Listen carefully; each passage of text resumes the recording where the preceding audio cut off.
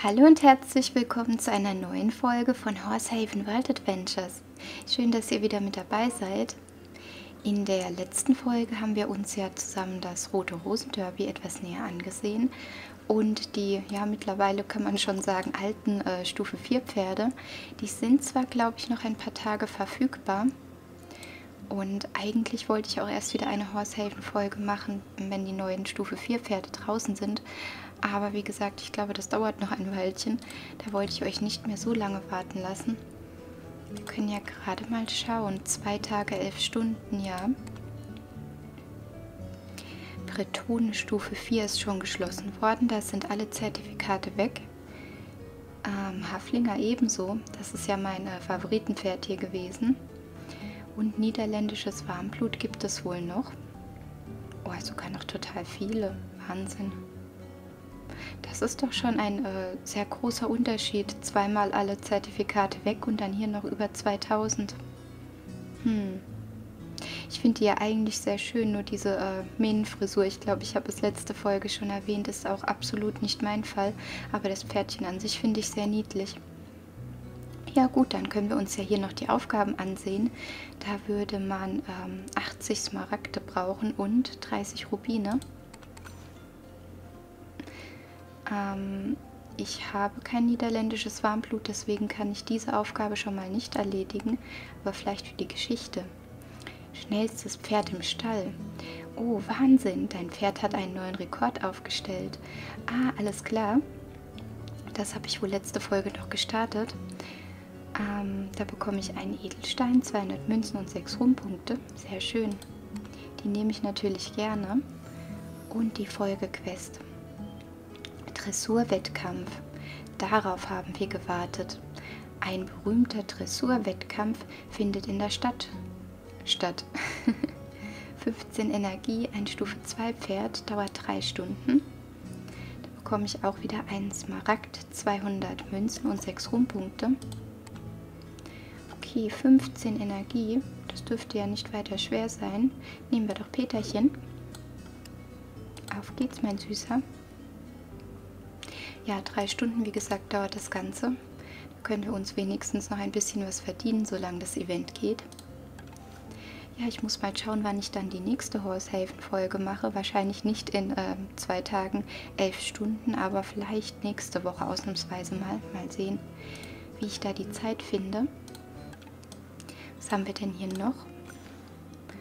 Mystery Shop. Ich glaube, das hatten wir uns letzte Folge angeguckt. Und Rote Rosen Derby läuft auch noch 14 Tage. Und das waren die Stufe 4 Pferde. Alles klar. Mhm.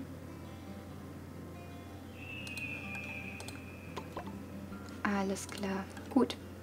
Dann würde ich sagen, werden wir hier mal mit den alltäglichen Aufgaben beginnen. Hier die ganzen Münzen einsammeln. Und dann werde ich natürlich auch wieder diese Folge Zuchtversuche machen. Ich war vorhin hier kurz online und habe einige Nachbarn durchgeklickt auf der Suche nach einem bayerischen Warmblut, mit dem ich züchten kann. Aber ich habe leider keinen gefunden und dann dachte ich, ah, es wird immer später und später. Ich möchte dann doch lieber jetzt langsam in die Aufnahme gehen. Deswegen werde ich mir da wahrscheinlich eine Alternativzucht hoch aussuchen. April hat ganz schön viel Hunger. Aber 20 Mais.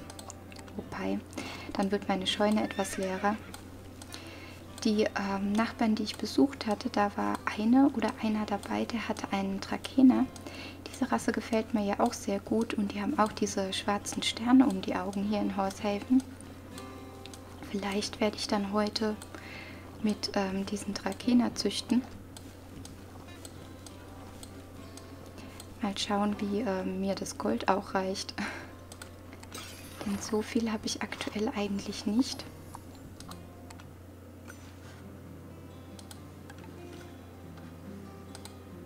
Und momentan ist ja auch leider keine Glückswoche. Da hatte ich beim letzten Mal mehr Glück beim Züchten. Was die äh, Glückswoche anbetrifft zumindest. Ansonsten leider nicht. Wir gehen jetzt hier gleich in die Schwarzwälderzucht. Ähm, und zwar mit Allah. Und Phoebe müsste hier irgendwo sein, genau. Wow, 67.200 Münzen kostet das. ohne Glückswoche. Zehnprozentige Chance. Das wäre ein Hengstchen Sam. Okay, Pink. Bitte einmal die Daumen drücken. Das wäre echt super, wenn das mal klappen würde. Ah, ja, schade. Ein normales Elite-Pferdchen. Theodor. Ja, da muss ich jetzt auch nicht unbedingt äh, um Hilfe bitten. Das mache ich dann lieber bei meinen anderen Zuchtprojekten. Soweit. Vielleicht hier noch die, ach, die Möhrchen wollte ich gerade sagen, aber meine Scheune ist mal wieder voll. Ich schaue mal, was ich hier noch an Pferdefutter herstellen kann. Orangenes Futter auf jeden Fall.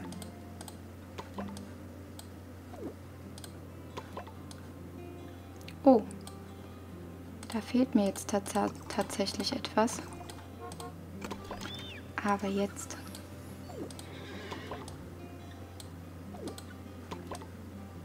Jetzt fehlen mir die Möhrchen. Okay, kann ich noch rotes? Ja.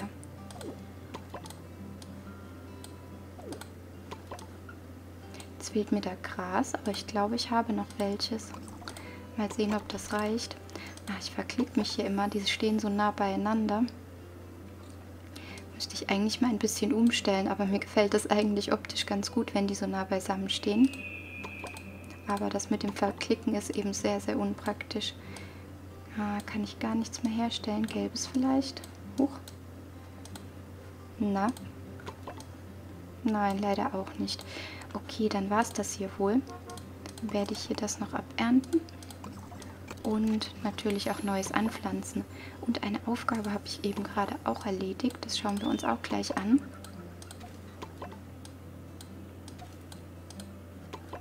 Noch ein bisschen Hafer.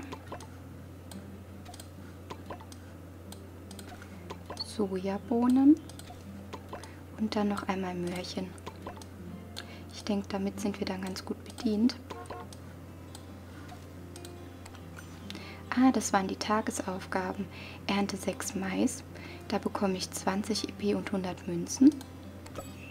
Und züchte ein Pferd auf der Ranch in Montana. 20 EP und 100 Münzen. Ja, das war mein kleines äh, Schwarzwälder Pferdchen vom letzten Mal. Ähm, laufe das Jagdrennen in Australien siebenmal. Hm, das ist mir etwas viel.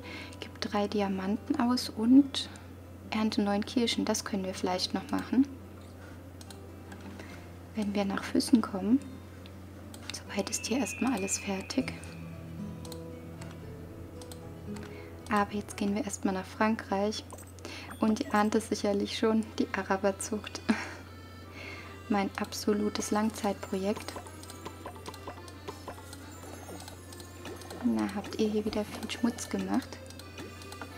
So was. Aber gibt ja alles Münzen, da möchte ich mich nicht beschweren. So. Die kleine Pearl wird auch verkauft.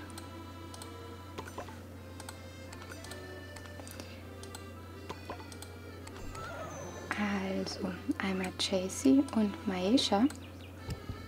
56.800. Oh ich werde arm.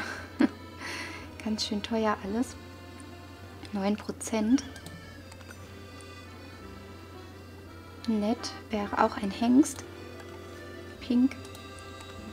Bitte, bitte, bitte, bitte, bitte. Ah, ja, ohne Worte. Dieses Projekt. Na gut. Da werde ich jetzt aber mal um Hilfe bitten.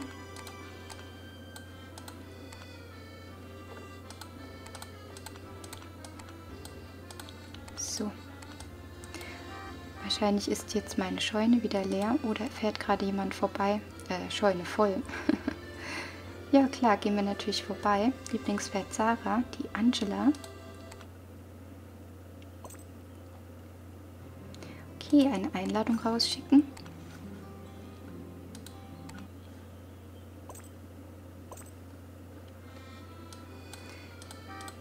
Das klappt sogar noch mit den Äpfeln wunderbar. Dann kann ich vielleicht noch ein paar Apfelkekse herstellen. Wann leveln wir dann eigentlich wieder? Oh, das dauert noch ganz schön lange. Dadurch, dass ich hier so wenig online bin, geht Das natürlich auch deutlich langsamer mit dem Leveln, wobei ich jetzt da auch nicht so ähm, großen Wert drauf lege, ähm, möglichst schnell eine hohe Levelstufe zu erreichen. Es ist praktisch, weil man da dann ähm, immer mal wieder einen Stall ausbauen kann oder sich zusätzlich was kaufen kann. Aber ansonsten sehe ich da eigentlich keine Vorteile. Zumindest wenn man so viele Nachbarn hat wie ich, da steht man sowieso recht weit hinten, auch bei einem hohen Level. Ich glaube, mein höchster Nachbar ist irgendwas mit Stufe 60. Kann ich gleich mal nachschauen. Achso, Müsli-Riegel kann man dann natürlich auch nicht mehr machen. Äh, Kuchen noch? Nein. Okay, das war es hier dann auch. Dann äh, gehen wir nach Füssen. Ach, ich wieder. Totale Verwirrung heute. So, ihr Süßen. Wir haben uns ja auch lange nicht gesehen. Dann werde ich die Minen auch noch neu starten. Oh, Diamanten. Na, die nehme ich natürlich besonders gerne. So. Wen hatten wir hier? Ah, einen kleinen Lusitano. Ähm, der Kleine kam ja bei meinem Zuchtprojekt raus für ein äh, bayerisches Warmblut, oder? Soweit ich mich erinnern kann. Vanessa. Okay.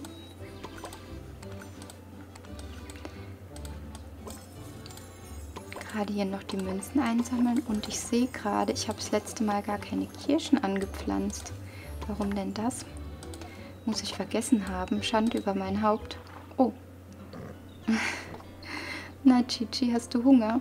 Ich habe leider nichts für dich. Hm, sonst hätte ich dir jetzt was gegeben. Dem süßen Blick kann man ja kaum widerstehen. Aber ich habe leider gerade nichts. Da hatte ich mich auch verklickt. Eigentlich wollte ich hier noch die Kirschen klicken. Träubchen noch und dann können wir hier auch noch mal Futter in Auftrag geben. Man weiß ja nie. Vielleicht klappt doch irgendwann mal eins meiner Zuchtprojekte dann hätten wir mal wieder ein kleines Fohlen, ähm, das dann bestimmt sehr viel Hunger mit sich bringt. So, jetzt können wir mal schauen bei den Nachbarn. 70 sogar. Wahnsinn. Ich weiß gar nicht, ob es bei Horsehaven World Adventures ein Maximallevel gibt. Und wenn ja, welches das ist. Könnt ihr mir ja in die Kommentare schreiben, wenn ihr da mehr wisst. Das würde mich doch sehr interessieren. Ähm, der Nachbar oder die Nachbarin, ähm, wo ein Trakehner hat, ist so nett. Jetzt habe ich mir nur nicht gemerkt, ähm, in welchem Land auf welcher Farm, aber ich denke, wir schauen uns die Pferde einfach mal an. Sehr schön gestaltet ja auch. Da haben wir einen Württemberger namens Ray, ein Dartmoor Pony namens Ruby, das ist ein Sternzeichenpferd, Venice, ein Skorpionpferdchen. Ähm, dieses Pferdchen ist gerade ausgeflogen und wen haben wir hier? Ein irisches Sportpferd namens Galaxy und ein Lusitano namens Imelda. Hm, sehr schöner Name. Überhaupt, das gefällt mir hier wahnsinnig gut, hier von der Gestaltung. Da steckt mit Sicherheit sehr viel Zeit und Liebe drin.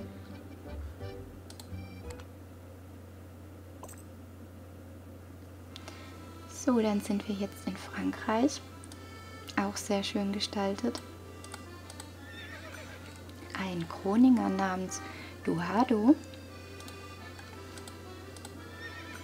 ein belgisches Warmblut namens Fifi, lustiger Name, ein Bretone namens Wizard, ein belgisches Warmblut namens Paris, ein Gotland-Pony namens Louis, und ein Schütze Sternzeichenpferdchen namens Naffa. Ein Naffa habe ich ja auch bei mir. Ach, das ist ja niedlich, das sehe ich eben erst hoch. Das wollte ich doch gar nicht. Da die Häschen und die Pferdchen und die Hundchenstatuen, beziehungsweise keine Statuen, das sind ja so ähm, Büsche. Sehr, sehr schön. Ich, ich, bin da ja immer total begeistert, wenn ich so schöne äh, Farben hier sehe. Wie viel äh, Mühe sich die Leute hier geben.